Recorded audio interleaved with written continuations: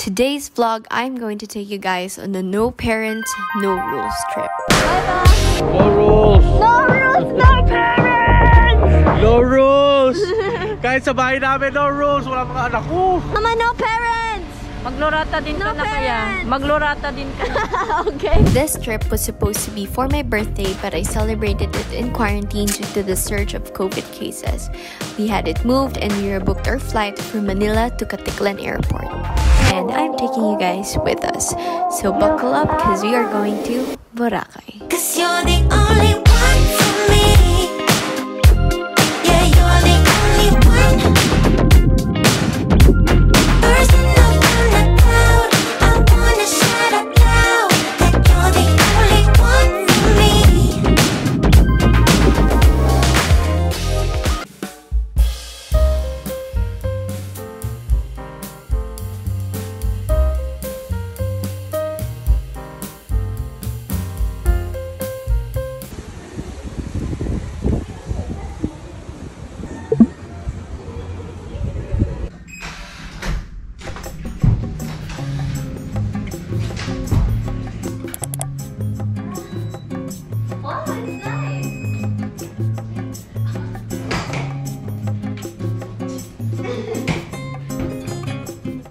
Come in, queen bed, single bed, and then this is the vanity area.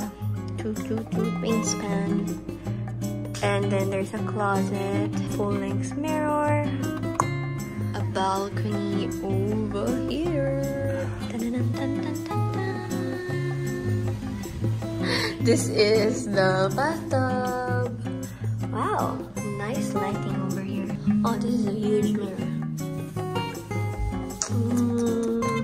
Guys, it's Ashley and for today's vlog, we are in Boracay! Yay! Uh, we were supposed to go here for my birthday pero hindi natuloy kasi surge ng cases nung time na yun and naapektuhan rin kami. So now we're here, we're finally here and this is our first outfit. It's so cute! Like, look at this! Ta-da!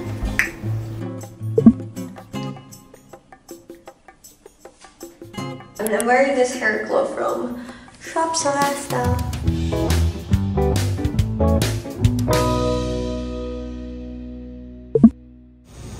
These are so pretty.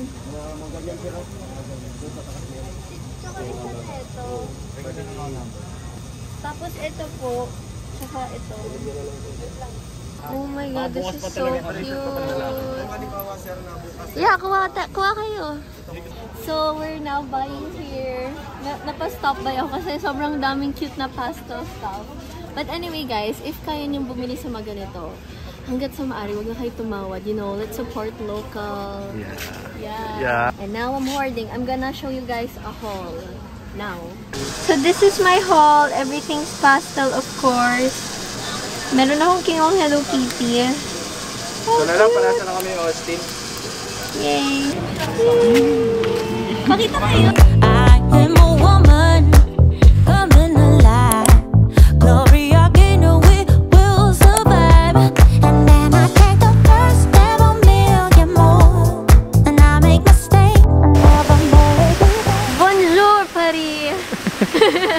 I'm here at Paris. Emily in Paris, Ashley in Paris. We stayed at Boracay for 5 days and itong first day namin, we arrived kind of late. Like around 3pm na kami naka fully settled sa hotel.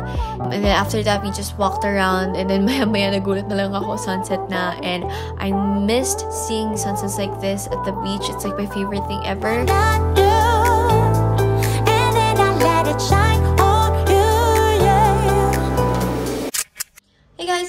We're back at the hotel and I just did a little outfit change because we're gonna grab dinner. And I just want to share these press-on nails that I got.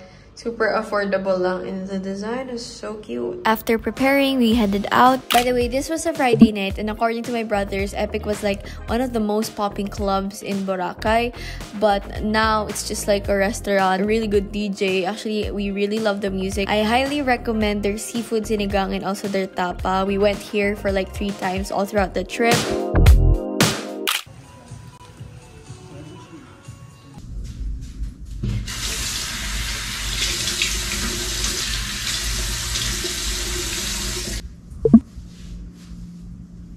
Hey guys, good morning. It's a new day and uh, we're gonna take a lot of photos today. And I posted on Instagram just this morning and apparently a lot of you guys are asking yung requirements in going here at Boracay. Well, first, we had RT-PCR. Let's go!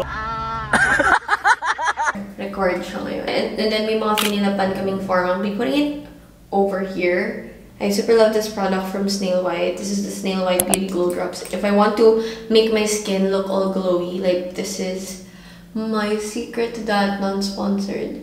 And besides that, may 10 p.m. curfew. So, hindi na talaga ganun ka buhay na buhay yung nightlife dito sa Boracay. Like, and it was so interesting last night kasi mahalata mo yung energy ng tao. Parang sobrang reserved na gusto nilang ilabas. Parang, alam mo yung gusto sumayaw sa dance floor, ganyan. But pag sumasayaw kami, nakatayo lang kami dun sa mismong table namin. I just wish life would go back to normal and COVID will be gone. You guys might be thinking, why am I wearing makeup at the beach? It's because I'm gonna take a lot of photos and I'm gonna take you guys along with us because may mga nakita akong magagandang cafe sa TikTok. Naisip ko nga, ilista ko yung mga expenses namin sa video na to.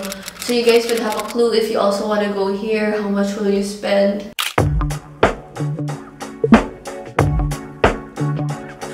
So first stop was this cute little cafe called Little Wave.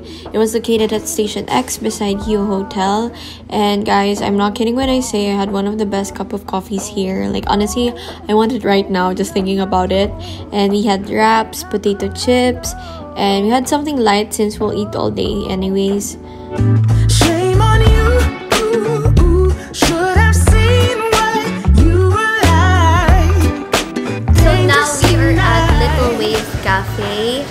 And you guys, this cafe is so pretty. Ah, top siya na gusto kong puntahan na cafe na nakita ko lang sa TikTok.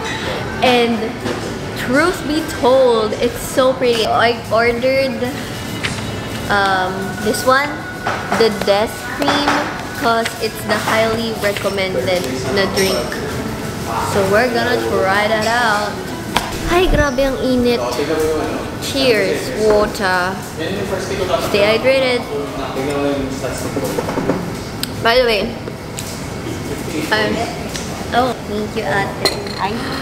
Wala, ang cute ng ice. This is the death cream. There's parang ice na circle and then you have to pour this thing. Taste test.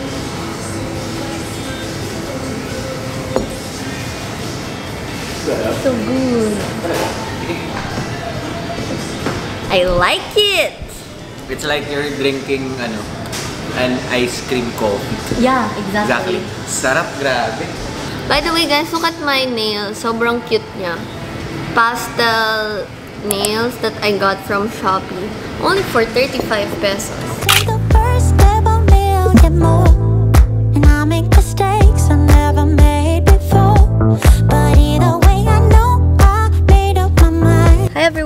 So, we transferred to Cafe Maruha and nag-change outfit ako. I'm wearing this Von Dutch cup and this top. Ang dami nilang bowls available. Like acai bowls and wagyu bowls, avocado bowls, smoked salmon. Shoutout sa glass nilang cute. Yeah, looks like a mermaid. Stay hydrated. Drink your water. Ta-da! This what the place looks like. Who is this girl? Single girl? Are we gonna announce it to the vlog that you're single? Sure. Okay. She is single. Huh? And ready to ming... Nope! Meron akong manok para dyan. Angela, what's the name again? Uh, the name rhymes with Forge. For Jerry. Forge Jury. Gusto niyo ba ng boyfriend reveal from Ate Aubrey? Next Boracay vlog, kasama na namin yung guy. Claiming it Lord. Guys, look at the team over here. We have a tripod via my brother's hand and my remote via my sister's hand. Saan? Ayan. Aubrey, I think I got it. We got smoothie bowls. This is, I think, mixed berries. And then this one's tropical acai bowl. So, yeah. So good. Look at their spoon though. Ang cute. It's a fish.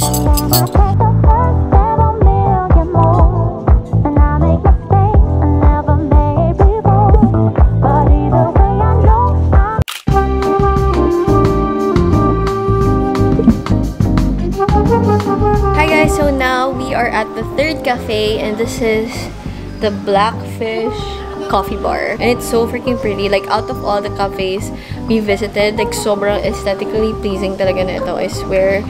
And ang cute niya kasi parang nasa isang eskinita siya. So it's super low-key as well. So this one is located at Station 1. It's like a hidden gem kasi tago talaga yung place.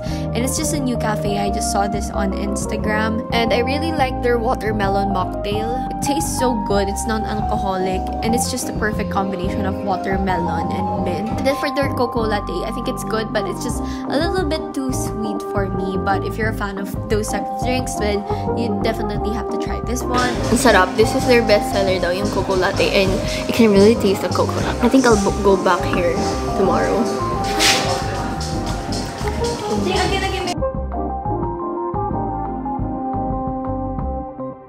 This is way too good.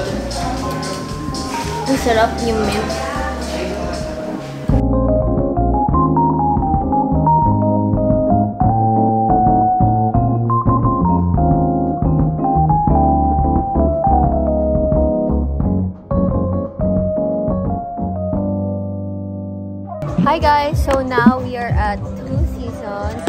God, it fell!